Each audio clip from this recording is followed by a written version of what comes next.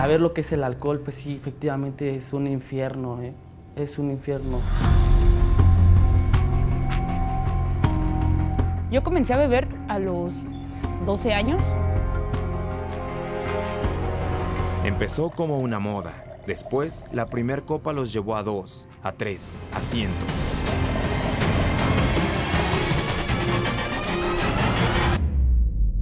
Llegó el momento en el que me ofrecieron un vaso de alcohol, ¿no?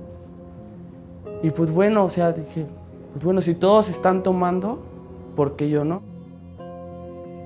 Creer que era muy buena onda como el beber, como el socializar de esa manera, el creer que yo hacia el sexo masculino era más atractiva.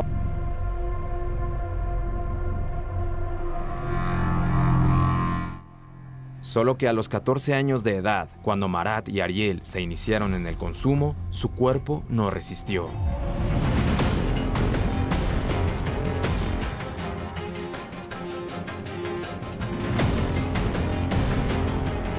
Y sí hubo esta parte de, lagunas mentales, de palimpsestos, lo que se le, se le llama palimpsestos alcohólicos. Ambos perdieron escuela y familia. Su adicción los obligó a pedir ayuda en el lugar con más casos de éxito en el combate a la enfermedad, AA. Hola, buenos días, mi nombre es Marata y soy un enfermo alcohólico. No puedo consumir ni una sola copa, ¿no? Porque es volver a las mismas circunstancias, al mismo deterioro. La Ciudad de México es donde hay más niños alcohólicos y el 45% del total de adolescentes consume alcohol. Es un infierno, la verdad, el que se vive. Es algo, y, es años de vida echados a la basura. A través del programa 12 Pasos, que busca la autoevaluación, muchos enfermos trabajan su adicción.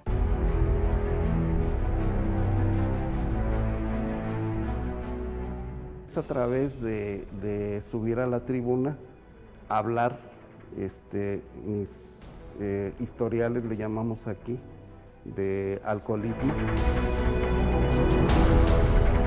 Pero no todos tienen la oportunidad de rehabilitarse en tribuna. El alcoholismo en adolescentes es la cuarta causa de mortalidad en México, principalmente por cirrosis hepática. Desafortunadamente, ¿sí? al momento en el que acuden a la unidad, muchos casos, ¿sí? el daño es irreversible. La gente que tiene este tipo de enfermos en casa, acude a unidades especializadas como esta. No hasta el momento en que no se puede hacer ya pues mucho o que ofrecerle mucho a ese paciente.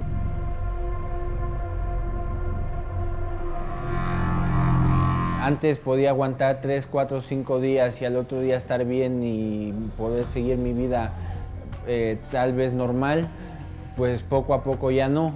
No hay marcha atrás para esta adicción. Los daños son crónicos y en el cuerpo de un niño o adolescente irreversibles. Y el hecho de, haberlo hecho, de haber este, vivido consecuencias, de haber tenido problemas, de haber dañado mi salud, mi mente, mi vida, haber arruinado mis estudios, pues es algo que sí me deprime. Francisco Naranjo en las imágenes, Óscar Hernández, Proyecto 40.